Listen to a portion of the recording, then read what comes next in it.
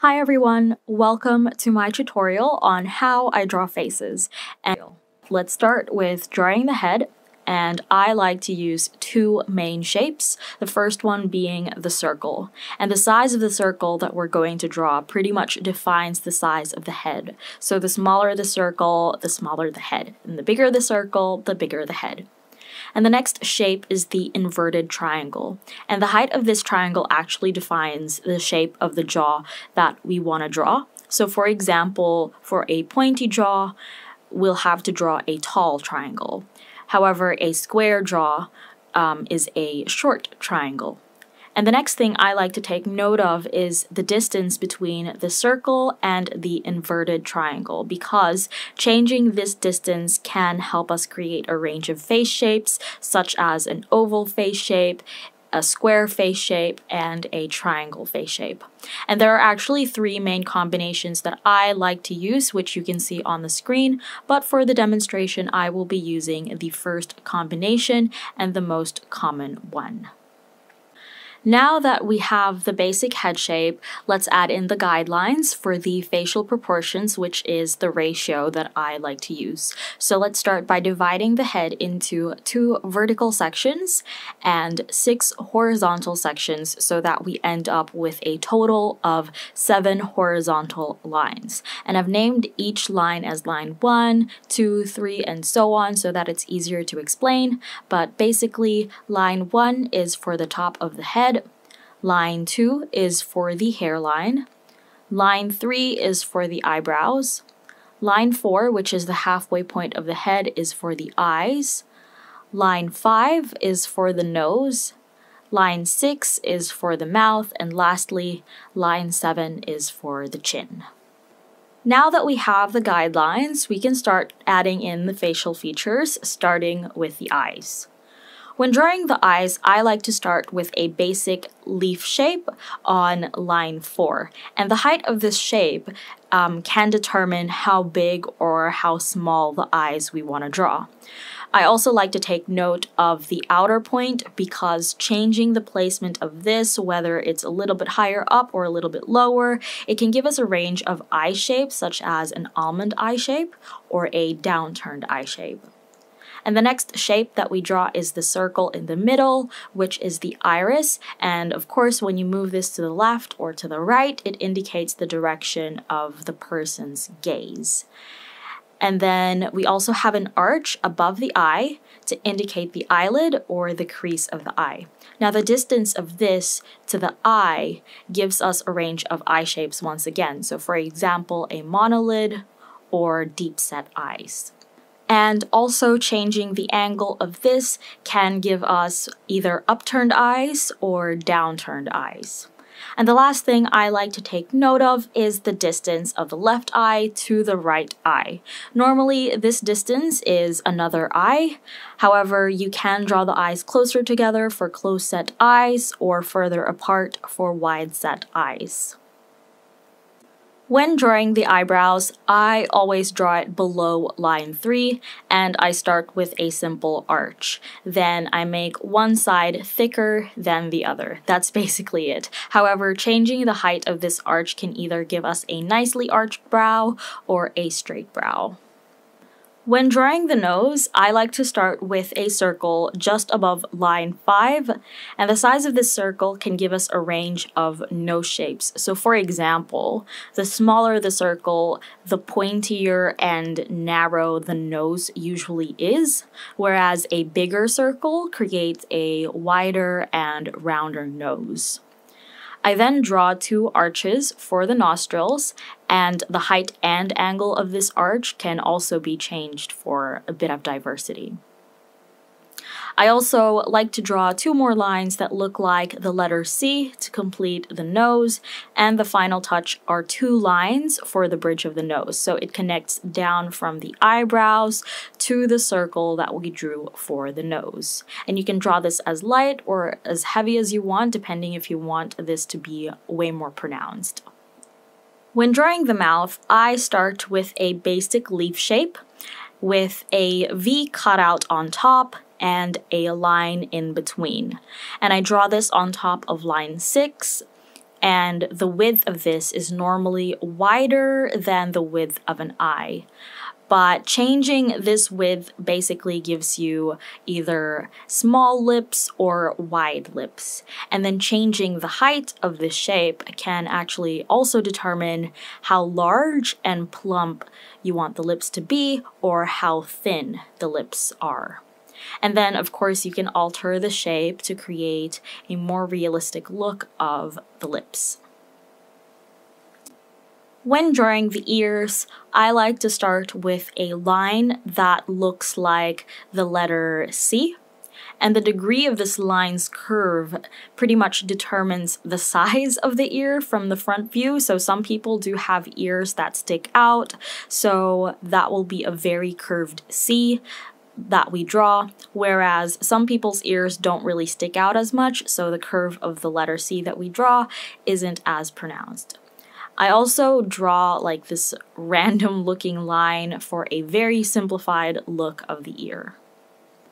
When it comes to drawing the hairline, I have four options that I use to create the different face shapes. So for example, we have an arch, which can create an oval face shape. This is very common.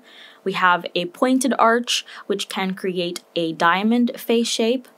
A straight line can create a square face shape. And lastly, a letter M can create a heart face shape. However, sometimes this won't even come in handy since hairlines are normally hidden due to different hairstyles, for example, when you draw someone with bangs. The last thing I like to add to my portraits are circles or ovals.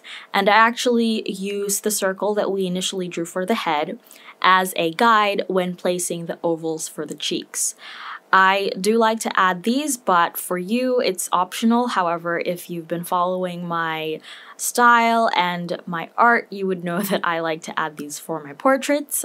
I also like to draw an oval on the forehead just between the eyebrows, as this will help me when I color the face in later. And then lastly, I like to add a circle on the chin just underneath the mouth, as this one helps me shape the jaw.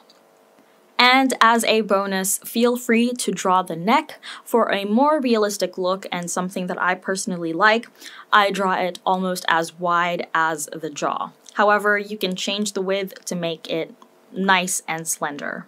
And once you've added in all of the facial features and the hair as well, which will hopefully be in another video, you finally have drawn a face. So when it comes to drawing faces and pretty much anything, I highly recommend using references because reference images are very helpful when you're just starting out to draw.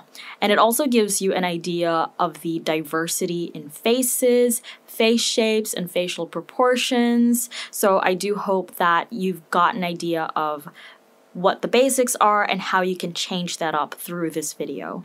I also highly recommend practicing regularly to try out other combinations and pretty much to experiment with the guidelines that I've shown you in this video. There are honestly no rules. Anything that I've showed you in this video only serves as a guide. So technically, it is up to you whether or not you want to follow them. But I do hope that you have found this helpful. In the description box are some links to resources and an exercise sheet that I've also included. And lastly, of course, I hope that your main takeaway from this is to have fun because that's the most important part of drawing. Have fun and enjoy the process. So if you like this video, and I hope that you did, if you found this helpful, and I also hope that you did, please give this video a thumbs up, leave a comment, in the comment section down below of anything you'd like to see from me in the future because I would like to bring this channel back to life. Um, subscribe if you haven't already for more content from me. Um, feel free to share this video as well. And thank you so much for watching, and I will see you in my next one.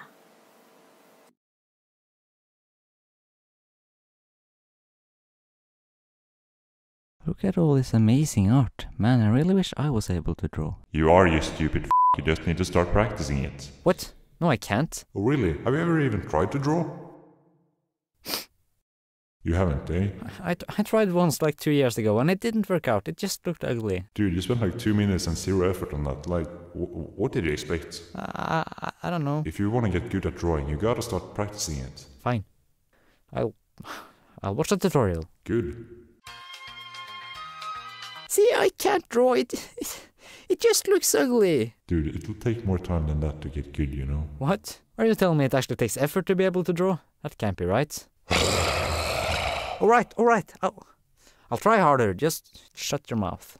In this beautiful fandom, there are tons of amazing artists drawing a ton of super cool fluffy animals, so one day I was wondering if I could do the same thing. I quickly found an answer to it, and it's yes, yes I can draw super cute fluffy animals. I just need a lot more practice before I'll be able to do it. You see, I found a rule, it's called the 10,000 hours rule. It says that to reach the top of a field, like really the top, it will take me at least 10,000 hours of practice to get there.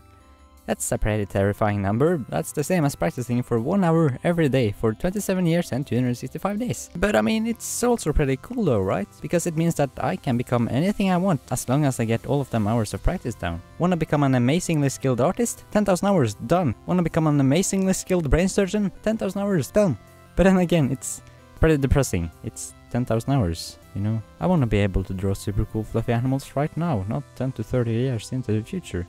However, I did some more digging and I found a way more motivating rule. It says that with about 20 to 30 hours of deliberate practice, I will gain the basic understanding of something. So that means that if I spend 30 hours on trying to draw furries, I should be able to draw furries that looks okay-ish. So with all of that in mind, I decided that I was gonna draw for 1 hour a day, 30 days in a row. I started by looking up tutorials on how to draw, which led me to Draw with Jazza's YouTube channel. There I found something insanely cool, which I will recreate right now. Here we have a small stick figure, however this is a very very bad stick figure. Now if we just do some small changes, it's already kinda looking better, it looks more human-like. If we then start moving the limbs around, we show the stick figure trying to communicate something. And if we then add in slightly more movement, we can make things look pretty cool actually. We can even start making animations by just using simple stick figures.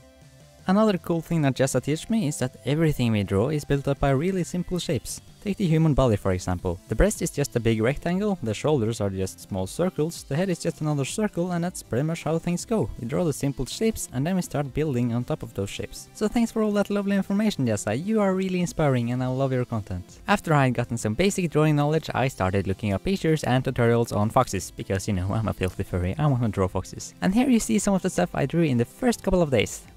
it's it's pretty bad. And I had actually been trying to draw for like a year and a half before I did the challenge. It's just that for that year and a half I didn't really try very hard.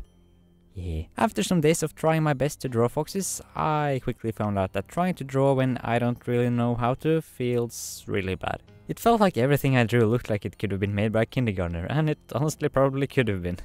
It doesn't feel good knowing that I absolutely suck. But I figured I'd just continue drawing, even if it felt awful, because, you know, I had set a goal. I wanted to be able to draw furries, and I will be able to. I just gotta keep on trying. So, day 15. On a lot of days, I was feeling like I wasn't making any progress at all. Sometimes it felt like I did even worse than I did at the beginning. So, that kinda sucked. But even on those days though, it was still pretty cool and comforting to be able to see the lines on the paper in front of me. Sure, the lines were absolutely awful, but they were there. I had been sitting and drawing for an hour. I had done something. And I also started feeling more comfortable with drawing. Sure, the drawing still looked like a miscarriage, but I started feeling more comfortable with being bad at it. I accepted that I was awful, and it's okay to be awful. Just have fun with drawing, that's what's important. So figuring that out was pretty cool. Fast forward to day 30.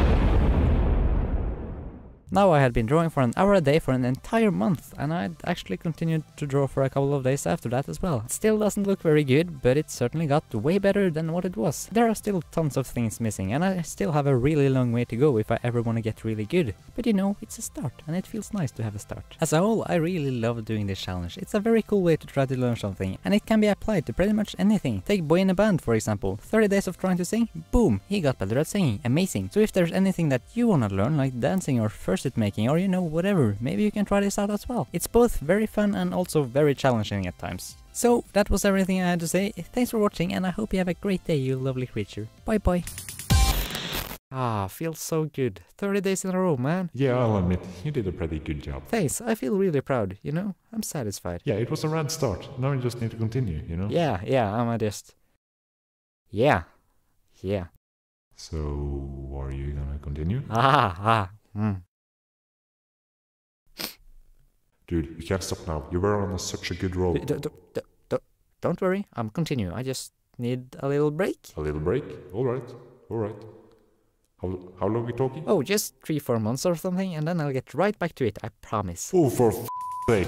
If you like this video, it would be really helpful if you shared it, as it, you know, it helps get the word out and stuff. As always, my character is drawn by Luxus Stargriff, and the background music is created by Laugh at the Fox. Please check them both out, they are really amazing people. That was all folks, bye bye.